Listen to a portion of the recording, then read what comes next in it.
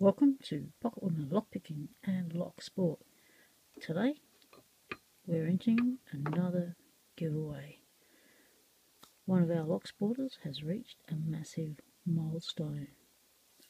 750 subs plus. Congratulations to Lockmania. Let's pop that there. Do some techie stuff. There we go. Congratulations, my friend. 750 subs. Wow. Excellent achievement.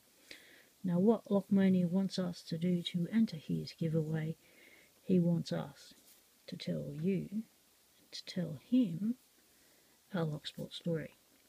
How we got into lockpicking and how we got into making videos.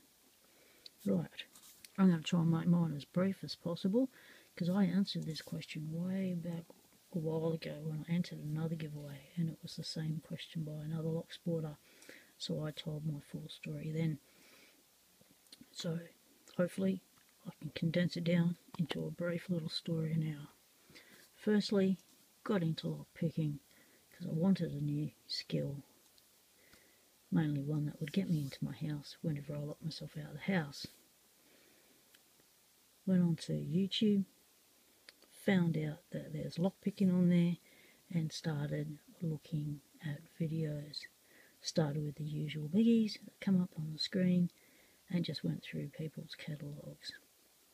Found the helpful lockpicker. He had a series featuring small channels, a weekly series. So I watched that and I found smaller channels and I started watching the smaller channels. The first one I started to watch was Leon's Lockpad through Leon's Lockpad, put me onto Andy Mack and Rev's Picks.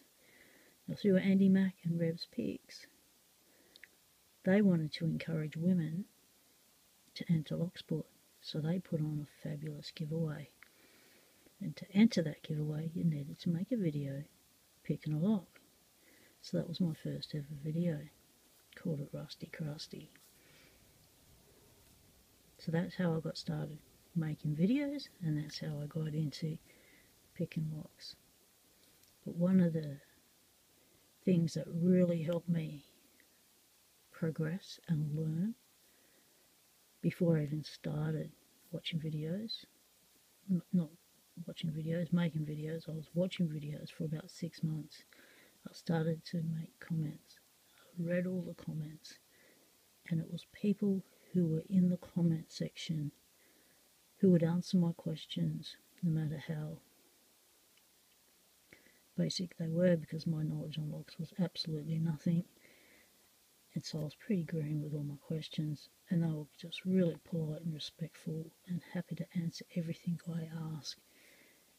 And it was those people, the people who were in the comment section that I got hope from, that I got encouragement from, that I got support from to actually say, yeah, I wouldn't mind giving this a go. Before I went online onto YouTube, I didn't even know lock sport was a thing. I only found out once I started watching videos that it was a sport.